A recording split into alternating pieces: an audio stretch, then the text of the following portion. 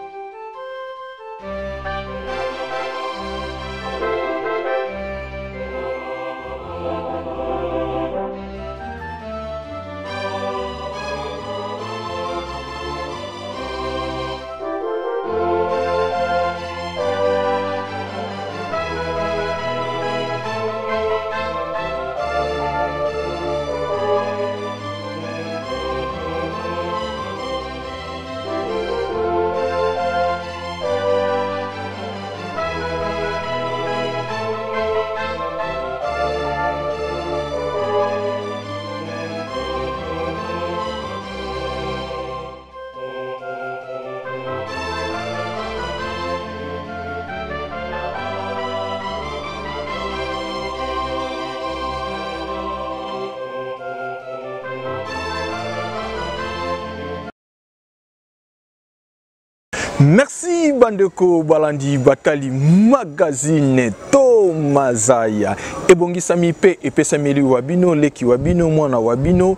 dete landri kingelezi mwana ya mama agnese tulenge ezalaka na ngai esengo nakotaka na bandako na bino sans invitation mpe na batelefone na bino yambo ete na banda masolo na ngai ya mokolo mwa lelo napesi mbote na sa divinité tata simoni kimbangu kiangani le patron de la 4e génération mpe napesi mbote na baye banso bakolanda ngai na ngonga oyo na etando eke ya bango napesi mbote epai ya mama sandrine lucivika mwana jeteki ya tongo de telando kingelezi apesi yo mbote napesi mama mireille luteza mama mokonzi eh, talaka de telando kingelezi apesi yo mbote mpe napesi sponsor privé mama miriana wazekwa na france de telando kingelezi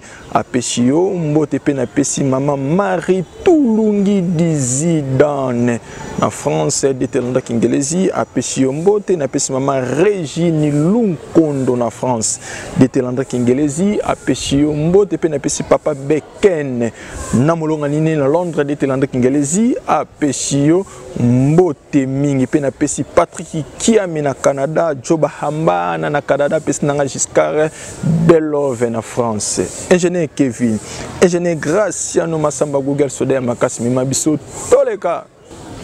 merci ndenge tolobaka kaka awa nde esika esepelisaka bai banso balandaka dete landri kingelesi dans le monde esika samanta tolenge uti Eh, tulenge baleki ya dt landa kingelesi na italie bango balelaka baémission ya boye to basepelaka na baémission ya boye voilà lelo lisusu na plateau na ngai nazali na invité na ngai spécial tata power oyo akososolisa biso makambo ya tata simoni kimbangu akososolisa biso makambo oyo koleka na mokili mbote na yo tata power mbote papa journaliste boni sante na yo mm, sante malamu na ngola nzambe matondo mingi tata power tata power lelo tokolobela likambo ya bandeko na biso ya este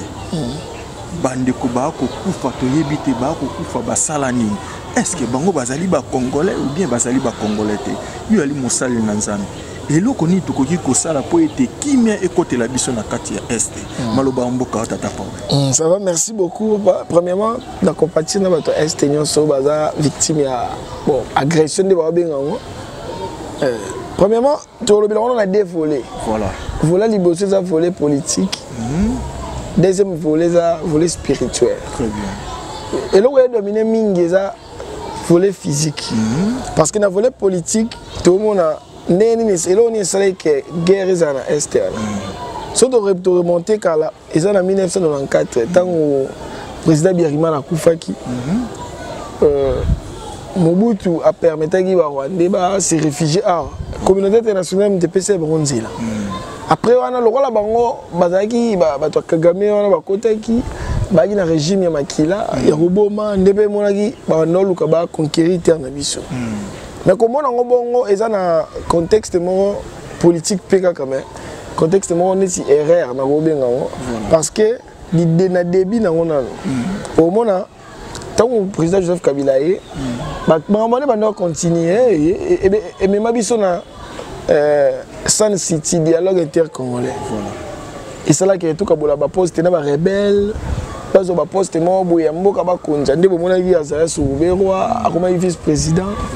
bazali lingoma ba jean pierre bemba yango esalaka na 2000 na 1 plus 4 ba 2001 ti 2005 ntango président kabila acontinue makambo na ye ya koluka kimia parce que kabila alobaki ntango azwi bokonzi mpo bato bato nyonso bayebi ke kabila asala mabe mm. toyina ye bato motu te akanga makambo mabe asala discours asalaka ntango azwaki bokonzi abi gire partout où la paix m'appellera abe na okende place nyonso kimia elukanga mpo naluka kimia mm. mpo na mboka mm. nde omonaki andimaki 1 plus 4 première eloko esalamaka nanu te mais esalamaki na ntango ya kabila après wana toyokoma na ntango moko boye na 2013 kabila asala baaccord na barebele wana oyo bakomi m23 parce que bazalaki cndp ebanda ezalaki dirigé par général sultana makenga eh, na kunda bato abandaki kokoma ndango ntango basali baaccord na kabila ya kimia mpo balinga bazwa goma wana sika bagénéral amisi kabila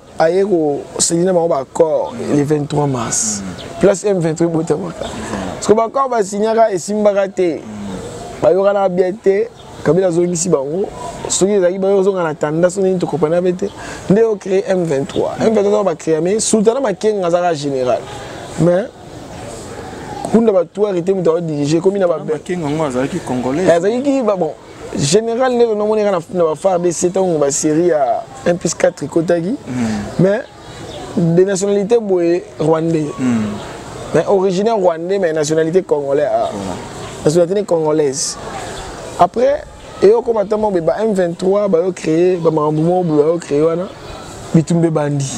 eh, kabila azanga longo bokonzi mm. erreur ya liboso président félix asalaki mm. kodialogue na bato ya barebele mm. parce que soki otali na bavideo nana video moko baaccord basigne na rwanda bavia rwanda ekomi kovanda awa mm. eh, ekomi kosala batransport awa na congo mm. moto angaki ye bukavu fo alekana na rwanda transport moins cher akoti bukavu donc bakomi na facilité ya kokohabite na biso mm. tandis ke bango baaki na bango mosusu président félix seri ntango akoki makambo ya minembwe ke commune rurale moko bazwi ya minembwe bato balanda politique bacomprendre fallait aagir ye atikaki yango moni makambo wana ke bamoni ke non toconquiri minembwe bakomi kozwa bunagana nde mpe guerre ebandaki bongo siko bango prokese bango eza nini parce que ntango musée asalaki accord ya liboso rwanda mposana ezalaka baboma batuti mm. nyonso oyo bautu baki bautu na batuti bandokana te baboma bato nyonso oyo bakimaka awa na génocide ya 1994 yango bayokana accord na musée yango moni ti lelo kagame alukaka bango mpo nini bango wana oyo bato bengaka banyamulenge bakolubaka revandikaka mabele na bango ya rwanda mm. un jour voilà nde aolinga boma bango po kakame ba banilotike mm. bauti kote basuba non ba descendance ya salomo parce que sotangi na bible omona banilotike ba descendance ya salomo bauti na betiopi kuna likolo wa bakita bakagame po kakame euh, rébellion na ye ezalaki formé na uganda uganda moto aprépare ye po koma bongo sikoyo ntango bosomba bongo baoyaka awa mpo baluka baki babangisa nde monaka babomi yo génocide baoboma na plan politique mpo na kokimisa population population monaka so babomi neti 20 personnes a bayebi ke 20 personnes babomi awa babakisa 20 personnes na bango nde bakokoma so babomi 40 40 personnes na bango babakisa sikoyo eloko nini emema biso mosika te eza parce que toza na politique moko boye lâche politique lâche eza lokola nini toloba tu so olandeli ya tv omona na sera joseph kabila mm. kabila abanda oloba te mm. abandaki koagir directement de ntango bakonzi twana bango une fois bamoni ke eloko moko esalami to réagisaka te na maloba mais ezala na baactes tosepela makasi ntango président azwaki initiative ya kosala na est wana état de siège mm. eh, tolosepelaki nango mais tandis que erreur ezalaki place nini ndenge armée na biso ezalaki infiltré tokokaki te parce que eza bacommunication oyo ekomaka mpo ba m23 directement deuxième eloko kaka na volet politique omonake m23 aza soutenu mpa bato moto lokola oni oyo jean pierre bemba aleki na tv alobi oni bazobunda bon oni azobunda toboyi te mais oni alobi minduki oyo m23 aza nango eleki ya oni tala ko oni alobi bongo elakisi nini adécourage bino ntango meme ata na bible soki otangi na guerre guerre mpo bunda yango bien esengaka bozala uni infiltration ezala te israel apolaki guerre na bafilistin mpo ya nini parce que bazalaki na infiltre moko akan akan ntango azalaki wana ainfiltraki groupe wana mpo baluka defete ya bobik nde toza boye toyiba eloko ya moto te bao bayibi eloko ya moto mpo opola siko bakongole oyo bayoka ebunda wana moye baganye eza te mpona nini oni aza koapuye communauté internationale parce que siège ya base ya base aérienne base ya militaire ya états-unis oyo basiégeaka na afrique australie nyonso basala baopération baza na rwanda mm. so tala sikoyo tobunda na pays oyo base militaire eza na rwanda voilà. eza lokola ndenge na arabie saoudite ntango trump alingaka atake arabie saoudite na qatar mm. secrétaire d'etat alobaki na ye asala discours na tv ayebisi ye eh, kosala bongo te base na biso eza ku tokoba amérique baa na makambo bayebi biso sikoyo te fale to luka te kende tobanda otomboka amerike bazoloba eloko te tokomotya basini moko boye neti tandis que na, na russie avant guerre ebanda babanda osala z na bango z wana elakisi teke baolela elakisi teke tobandi bitumba ndenge banazi banda osala na ye ntango ya hitler sine nazi sikoyo fallait bato oyo baza éveillé na politique bacomprendre ke tokomi na époque moko boye oyo na souveraineté balelala yango te ke bopesa biso souveraineté souveraineté baarachaka yango elokwa pouvoir to ntango bomoni pays lokwa rwanda abandi osala makambo bongo balobaka soki mwana soso azovimba seke mama naza na se cestadire ke bokopana ke rwanda aza wana lokola rwanda aza wana na mpasi tolela tosala nini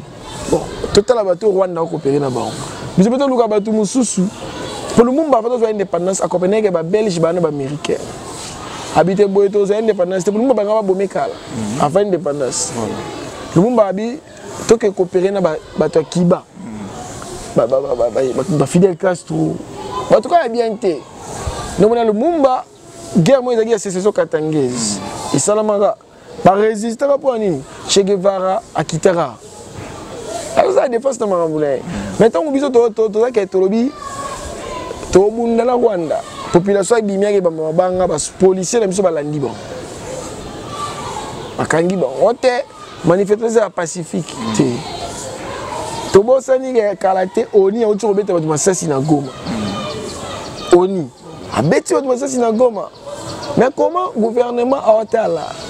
bapoliticien baotala bato tu bainfluencer ya tiktok hmm. bakolobaka eloko wana te bango tu bakoma oloba je suis goma na bato batala information te bakoma otya bagoma sikosotuni bango eloko otyela exini bayebi te yango wana sur le plan politique simo kimbanga alobaki congo fo ezwa indépendance spirituelle indépendance spirituelle ntongo wa divoir oya adirige congo politiquement scientifique na pouvoir ya kibonzambe mm. ekota kati na ye roi divin akoya sikoyo basine elakisa oyo ya guerre ya makambo ebele elakisaka sine ya roi divin mm. wana nakoda nakota na sens politique mm. eh, spirituel pardon na politique mpona silisa yango yona lobi eza eza makambo mosusu esengaka dialogue te esengaka kofrappe so olandeli ba 123 baa na intention ya kota goma te video moko balobi toza na tonégocie na gouvernement donc elakisi nini baoluka intérêt moko boye balingi baoblige biso eloko moko boye mais tandis que biso toa na armée oyo eza structuré fardc eza armée bango baza groupe rebelle donc il suffit kaka yo tiaka mayele soki ba millions oyo bao dépasser ba millions ba milliards ya, ya buzoba kaka ezanga na ntina batia yango na armée premièrement koyeba nanu russie akoma makasi bachine bacorée du nord bakoma makasi mpo na nini eza teke fo tobenga russie oyo asimba biso te ezaka ya biso fo tosorganise towana budget 15 milliards totie 40 milliards na armée tobatie mpena budget budget 30 milliards mais totie na 30 milliards wana totiaki mosusu 29 milliards mposo na tie 40 milliards yebisi kokomaka te te ekwesa te ntango totie budget ya armée 29 milliards exemple ya 10 millions 10 milliards pardon na 15 milliards totie 10 milliards na armée okomona motu moko te abanda kodebouye akenda luka mosala na biro motu tu akolinga koma militaire babi ke salaire moko eza wana omona bato tu oyo baomona batambola bakulu na banani bakoti arme soki na corée du nord omona moto nyonso asala arme moto nyonso aza militaire apart mosala na akoki esala so alingi aza nao premièrement militaire so bato nyonso bakomi bamilitaire ebisanga guerre ya est esila mpo natali na video bato ya goma nde bao résister babi ata bobeti bombe tokokima te lelakisi nini aza pena prete ya nyonso ya kobunda me esenga nini volonté mokonzi alela ambiance esalama bato baosala baambiance hmm. église enge esala marche yebisanga marche esala nini na makambo ya est marche esala eloko te ya balobaka à la guerre comme à la guerre donc moto akoprépare guerre oyo alingi kimia faut préparer guerre celui qui veut la paix prépare la guerre yango wana na sens spirituel sikoyo faut toyeba source guerre babunda yango bazonga mpo bakoko soki omoni na bible omona davidi bandoki ebunda guerre babeli nzambe bakoko na bango biso toza na bato oyo bateya basoda na baomoneri bateya basoda ba, ba, mais baosta ya bango nzambe nini bobunda guerre oyo eza na 2013 endo moko esalamaka fumu difima bos mm. bakenda kamba na kabila mm. ba m23 balinga bazwa goma bato bana video bakotala yango apres kosola kabila na papa papa ayebisi kabila abi omoni mosengo soki abeti nzete rome eninga me nga soki nabeti nzete na nga awa afriki na mokili ekosala ni oninga abi tika bango bakokota te maloba kaka alobaka 2013 bato babundisa ba m23 ezalaka bagorille taka bagorille bayebaka o fardc o m23 yebisanga nao force wana ezalaka soki to reconnaître na 1960 basolo bakimisaka mindele awutaka wapi okopa me koma biso bato oyo tozala na force spirituelle hmm. tokomi okeluka tosangana na banani oyo toluka premièrement bakenie nalobako nalobako na deba moko be nasalaka nalobi ndenge président aluki akoti biso na eac eza erreur premièrement parce que osangani na bato babundisa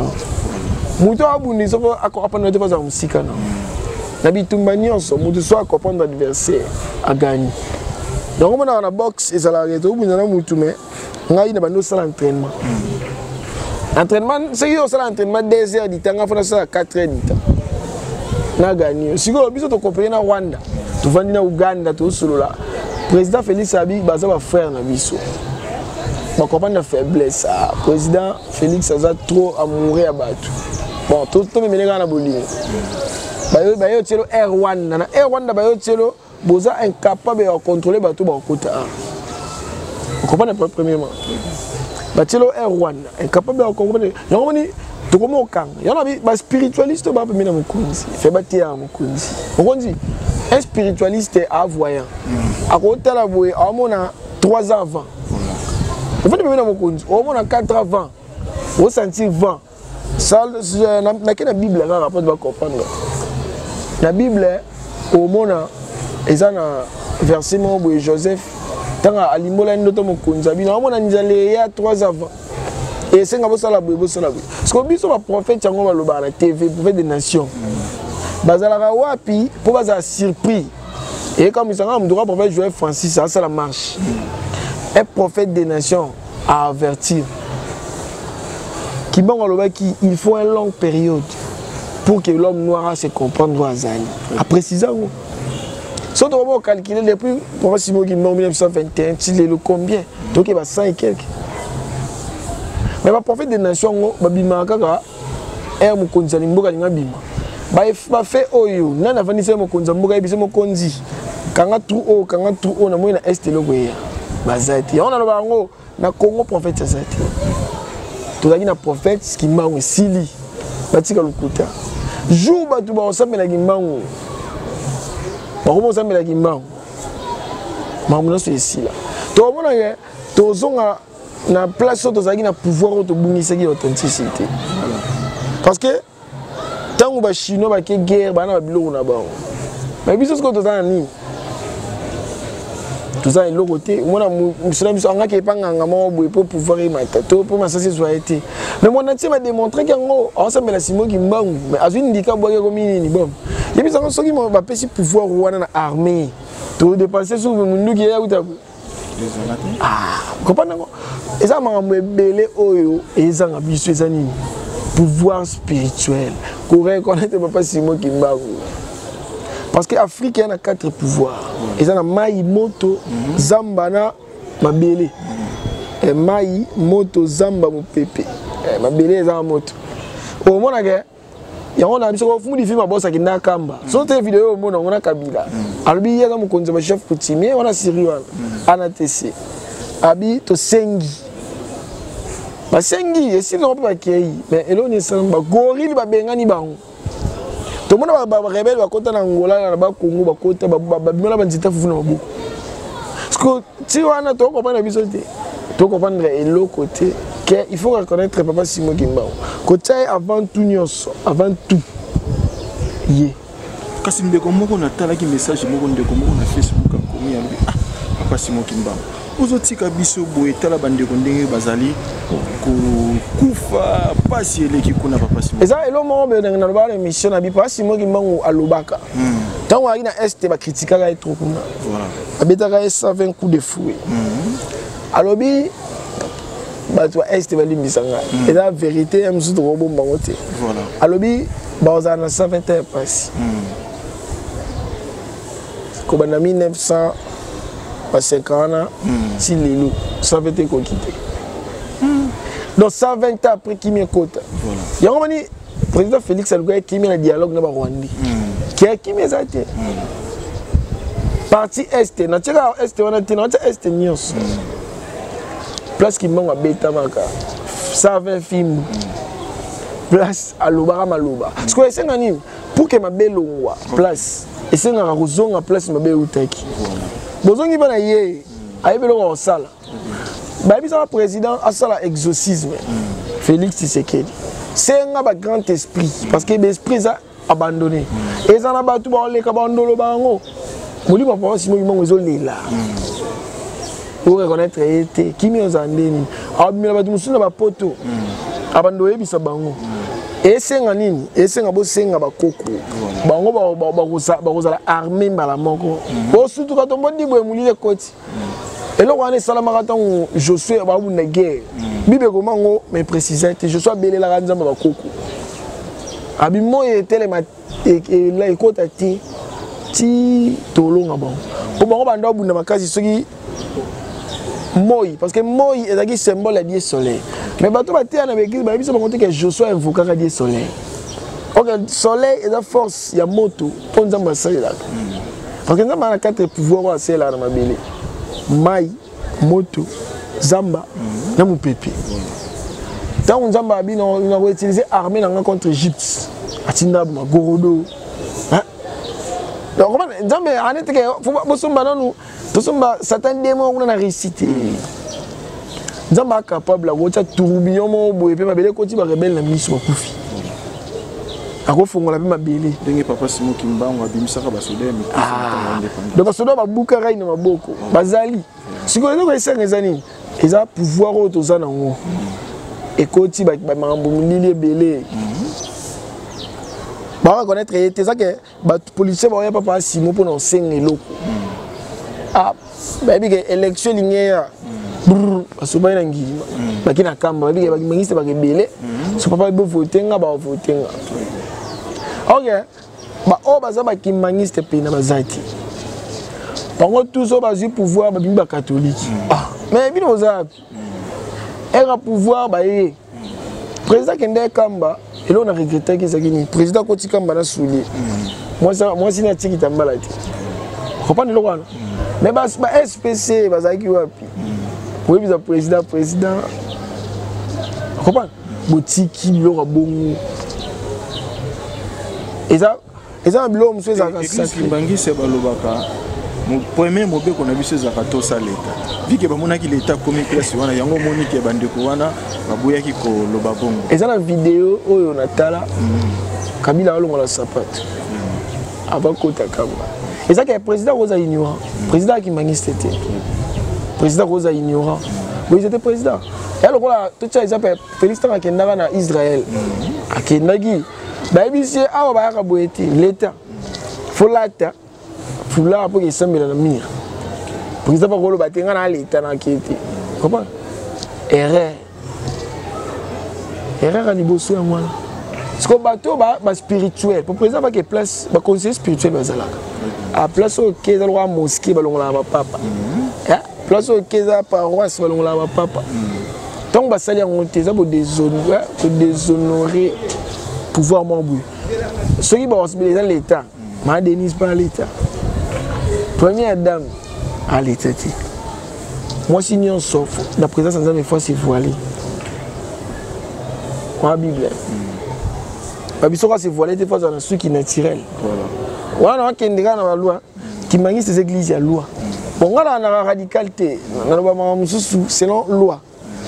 elokwa seke jour mosusu tomona tofandi boye bourgmestre aye na église kitambala aza ta ye osambela na biso molimo papa eya te esala te yango wana elakisi nini koyeba papa simo eza te ke totiala esisa bolingo misala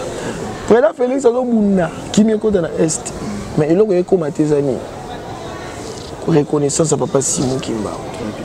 bo reconnaître ye comme nzambe mpo liboso tona oloba terre à terre kimbangu prophète hey, bo reconnaître ye comme nzambe c'est tout soki tosali yango te mboka na biso eke mabe eza ke biloko oyo eza baspirituel fo bavanda baloba eloko esengi tosala omona tous les traitre baobima baza mbukidi natala emission moko aloba bi totyaka admettons moto aodirige mboka oyo eza moto moko spirituel moto ayibi mbongo ese baomeme na justice baona otuni bakestion ebele bazwa kaka soso batie wana kati soso bo sokola makila maboko so yo te esili ozongi no ndako okobana omonake makambo echange omona moto moko soka très très ah na kimi ayebi ke so asali yango akokoma ndako te kati ya mosusu akufi parce que toli tokoma na mboka bongo kongo ya bongo nzembo moko boye nakomaka pourquoi la guerre est inévitable wana seki na rappeur naomeka kosala morceau nango omona maloba na okoma naoyemba yango na kirap mais nga moko so navandi na omona belaki naoyemba yango na conscience toke naobeta na al de la gombe na conscience wa barapper bata oni bayoki nga babengi nga bayebisi nga yo banzembo koma yango na biya bata oni bayaki wana na bata unesco o nzembo eza bien mais eza banzembo fo baki fo orange bamo a donc bamonaka lobaki epese makasi so beti clip ekosala mpe bien te dobima lokola révolutionnaire abia nayoki mais soki oyoki nzembo na loba wana okamwa nabi l'afrique est le berceau de l'humanité trop de déléquence on manque l'humilité la race blanche procure le racisme donc baolobana biso toyana bolingo te me bango bakabolaka mundele awa efo ozala a comprendre eza boum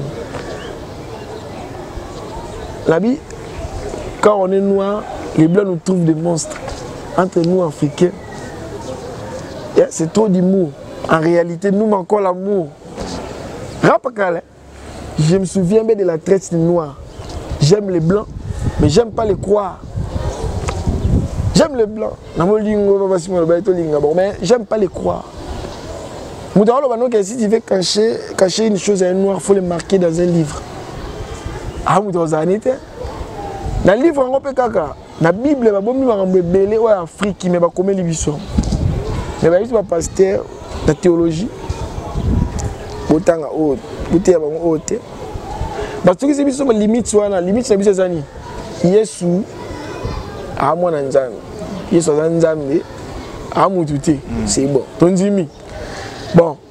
pa simo aza nzambe te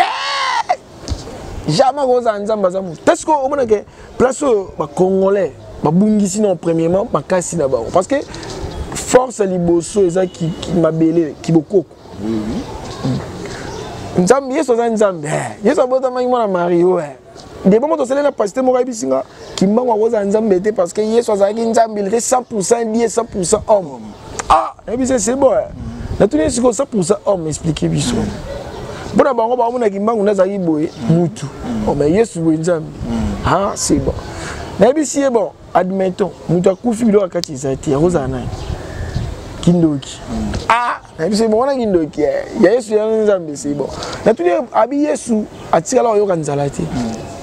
napesi ye verse yesu abi bandeke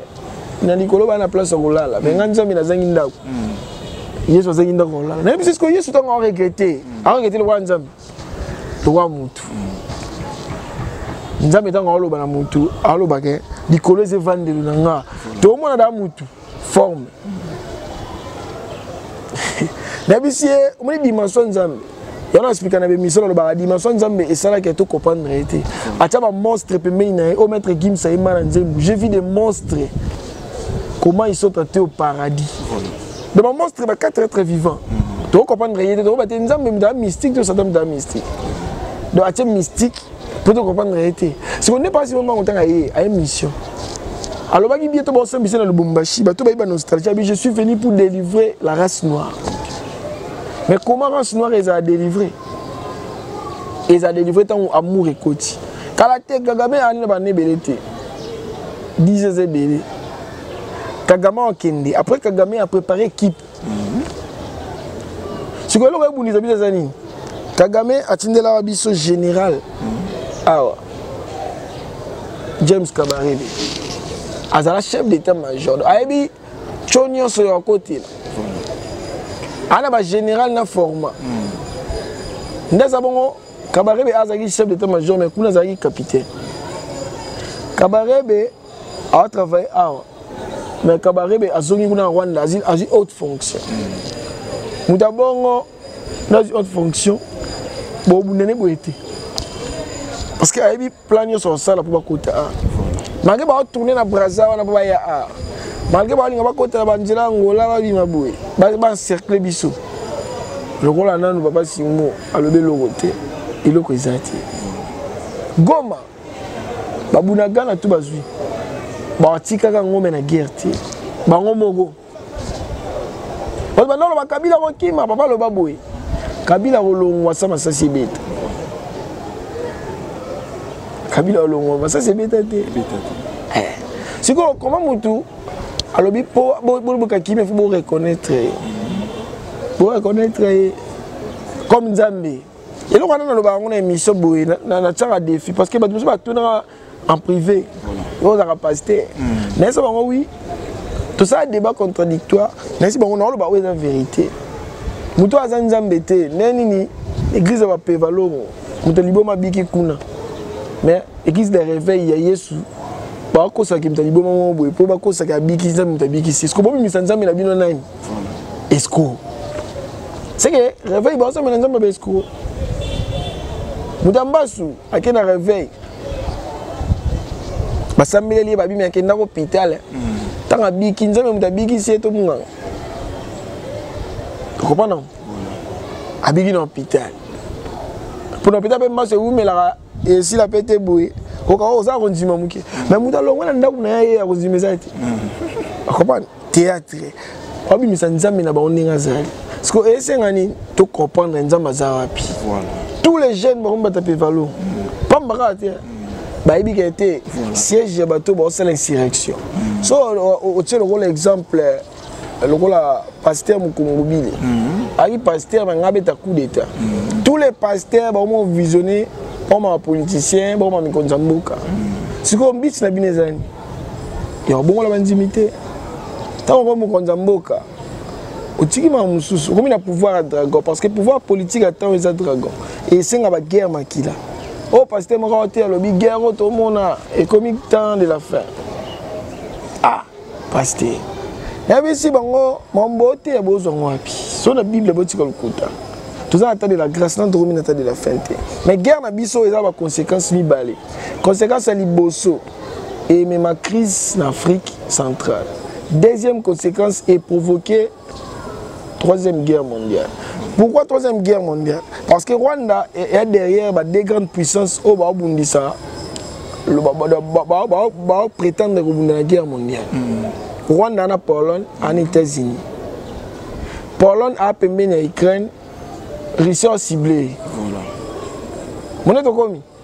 Russie cible Pologne na Allemagne. Bango ba soutenir Rwanda. Russie a senga biso. Tous tous en un accord à côté ba tout né. Tant que guerre wana e banda et déclenché pour Russie a luka azo biso lié parce que États-Unis biso to to e bana ndenge. Tant que ambassadeur ya belgique oyo azalaka awa akomaka ambassadeur ya belgique na états-unis na première guerre mondiale ayebisi président états-unis ondaka on dirait clinton boye bon onde clinton on dirait ya clinton ya papa bakombo elanga bosana yango ayebisi ye monsieur le président tokoki ko gagner guerre oyo na uranium ya Congo place États-Unis akoyeba Congo uranium ya Congo aya eh, balandeli eh. po ye afanda a ah. ndombo na basalaki bombe atomique wana Hiroshima Hiroshima basali yango sikoyo ntango Russie akoya est ce que risi bomba osala ezala dose mo wana hiroshima awalekisa dose akozala bombe moko ekabola ata mokili donc mpo risi ayo venge so otali esprit ya poutine aa mondele na po mais esprit africain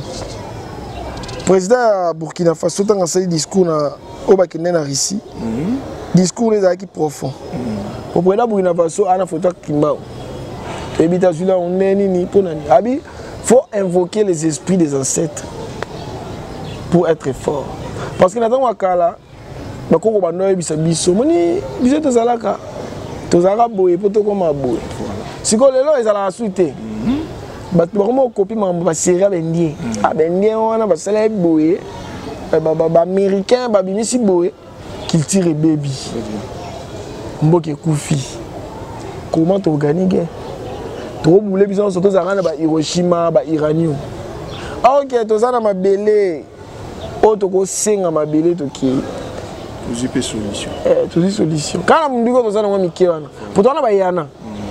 rwanda na biso na guerre akoresiste te yango wana esenga bakonzi na biso bakóma baspiritualiste bakóma spirituel baluka nzambe ya solo na place balepasite baliaka bambongo fele tolandaki discours ya prestation serment président oyoka baprière ya théâtre bapasteur baosala baprière ya théâtre pasteur miyibi nyonso est ce que eza eza normal me tala ngunza priere asalaki papa simon kimbangu mimonisa na mboka lakisaki yo oza père de l'indépendance yo nde opesaki ende mpo kimbangu apesa indépendance physique na spirituel ntango apesaki biso indépendance na spiritualité akenda obunda nango ya belgique abimisa bato babunda mpo indépendance ezala mpo mokonzi ya liboso ya congo elingi ezala papa kulutu papa kisoloke ya biso boyebi ye moto yanga aza président kasavubu asengaka te mpo ye azalaki na bako parti oyo bandao pesi ezalaki ya bako mpo bakongo nde bandao dirige abi te sede ngai na na poste batiaka yango ministre ntango gouvernement ebimaka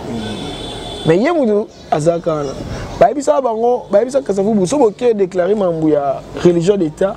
boloba nanu te tolandela yango après bawelisi katolike nde batiaki kasavubu azala wana mpo katolike eza pion ya mindele tous les religions oyo euti na occida ekozonga kimbangu apermettre bato batomboka guerre ezala makasi mpo na nini na 120 ans wana congo eza na kashu ntango wana olobela indépendance spirituelle moto ake etumba pine batindi bango te ndenge ekozala sikoyo elonga ya bapine ekomi ya kokanga baeglise bapasite balobi yango dimashi moko biso tosambela te toke marche ebandi ti ekoma te totika eglise tosangana na bakinani eh, tokomi na bakimangisi te na bakingandi ngizi ekufi bato bakomi okomprendre ke nzambe alingi te bamakambo aventure esalama wana nzambe aza na mposa mboka oyo ezonga na kimia oyo ezalaka na ebandeli mpo mboka ezala na kimia na ebandeli fo to reconnaître ye na ebandeli ntango mindele bayaka na ebandeli wana bakoko bawabengaka kimbangu fula mwana bakoko wana banakoma banzete obeti masasi ekomi nzete après kobatisama ya nzinga nkufu makambo nyonso ekei to perdre pouvoir to perdre kibonzambe tondimi bainfiltre baya parce que guerre na biso ya este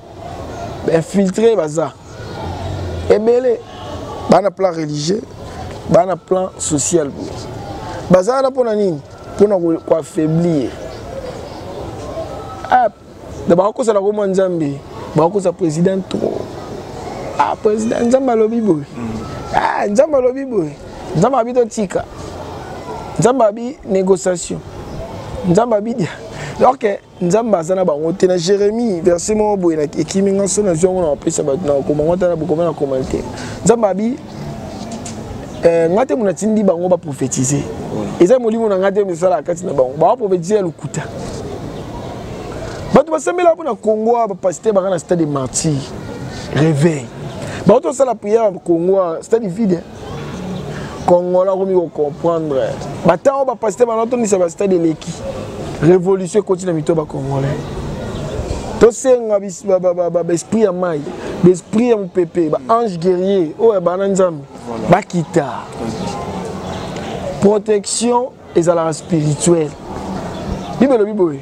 soki nzambe abateli te oyo bakobatela bakosala eloko te c'est-à-dire quoi basoda bakoki se forcer baa na volonté ya gagne nzambe soki aza na bango te bakosala eloko te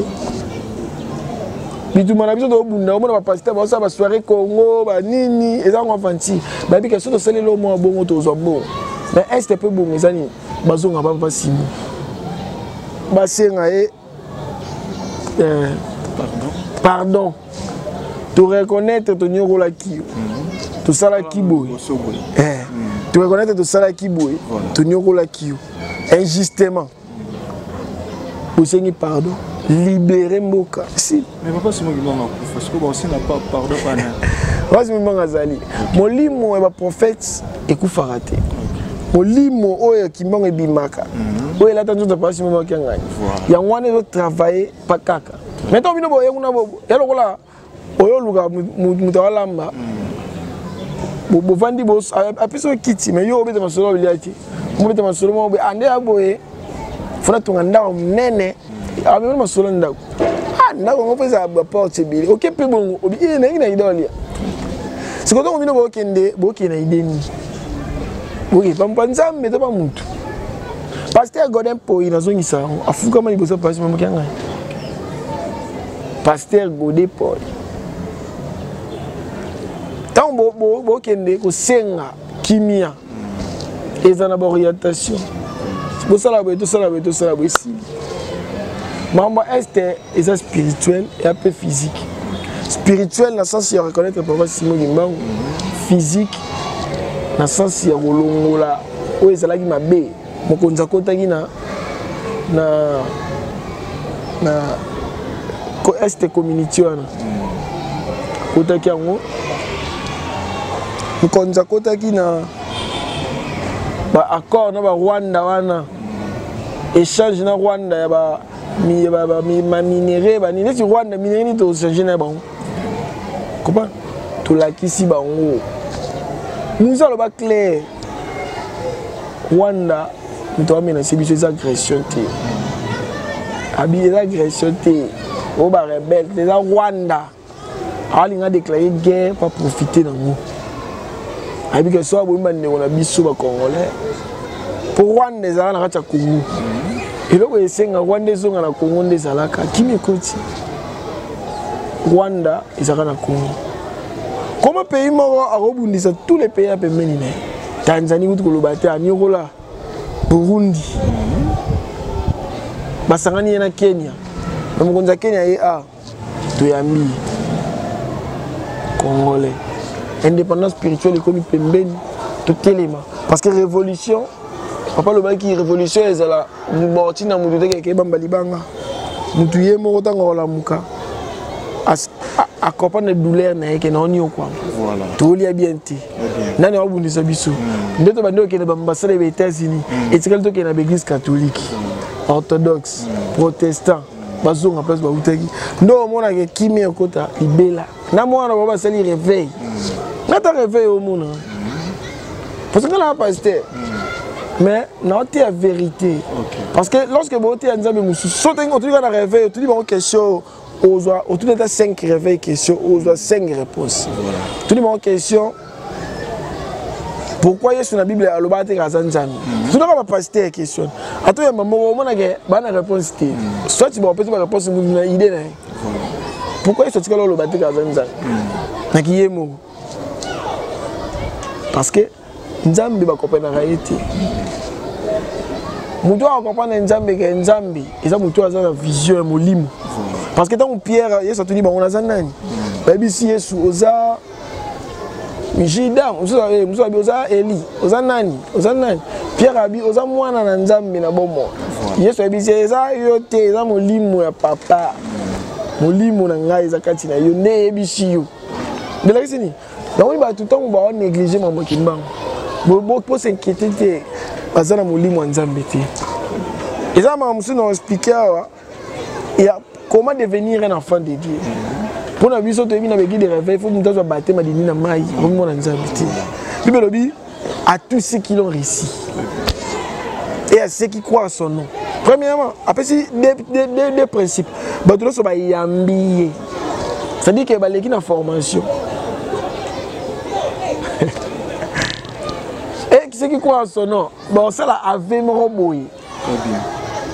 okomona biloko yansi atie bateme te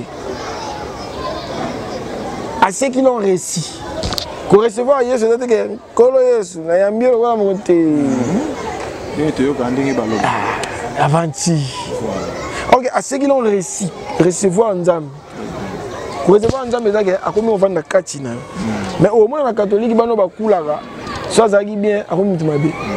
akomi kuluna akomi ne ndumba arecevoir nini molimo mabe e aseki kwa sono bandimeli ye e moto andimeli yesu akoki kende te koluka nzambe mosusu ntango eyindeli ye Eh, papa moko atuli nga question yebisi nga mhm. siko papa simo aza mokongo mhm. biso toza baekolo mosusu baluba baswahili mhm. siko ndenge nini bokonzi oyo alobaka mokongo moto akodirige ezonga mpo bakongo elakisi nabi elekisi ke mwana papa simo mbango azwa pouvoir akodirige mboka oyo abia ah eh, nese moto tu ndenge nanobela moto tu oyo andimeli nzambe moko boye hmm. ntango andimeli nzambe wana akomi na langi ya nzambe wana parce que nzambe atiaka langi oyo tokoyoka ye connexion ntango yamoni na eglise bakosala biso baparle alangi hmm. aoke alangi eza yango te alangi eza monoko oyo prophète abandaki koloba bamisilima basambela na arabe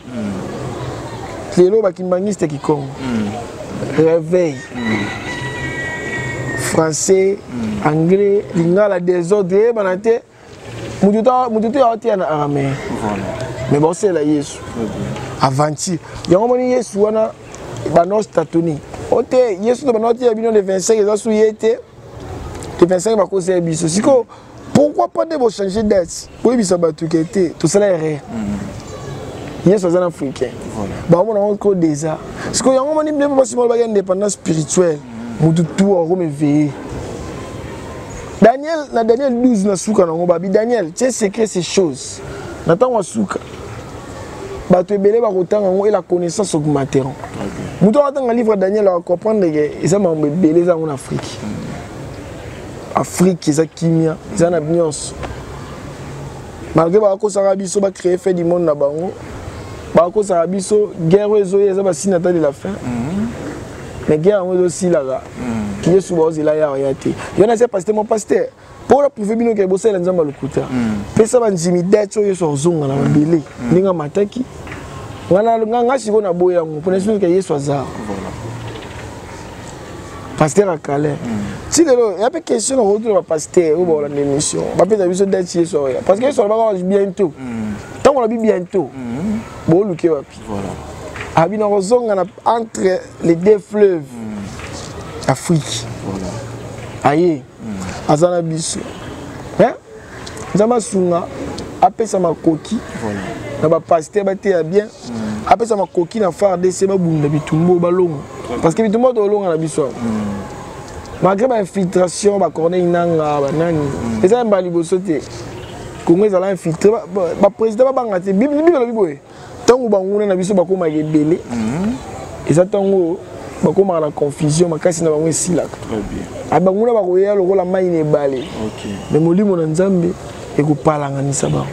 c'est-à-dire quoi totika bango bakoma ebele basala baaccord mhm. na baaccord wana eza na place moko boye bakose confondre tour de babel ekweya ndeni ntango bakoma ini nde nzambe akotaka me ntango motu moko anda tya briki boye nzambe ayaki te ntango eh, basangani nzambe abi fo tokita tokita so toki bana omona yango bie nakita te fo tokita toconfondre balangue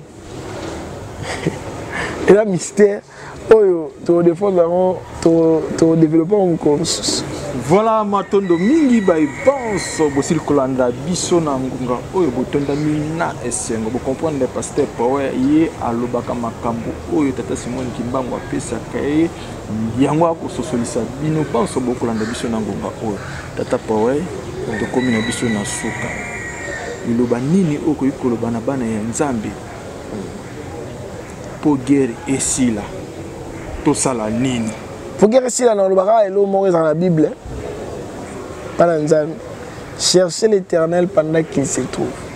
Verset wana eza clair. Mhm. Toluka Nzambe ntango azomonana nanu. Eza clair. Mhm. Nzambe aomonana wapi? Aza wapi? soki nzambe amonana mpo anika fo toluka ye seke aza quelque part chercher l'éternel pendant qu'il se trouve eza na ntango moko boye or se trouve sous te pendant qu'il se trouve fo toluka nzambe toluka nzambe ya solo na baaventure te tokenda na baeglise kolekisa ba aire tosambela malonga toyesa nzambe aindike biso place aza tomonaka ezongisa biso na kamba place oyo tomona solution makambo presque nyonso voilà matondo mingi tata pawe mbote mibale misato na baye bakolanda yo na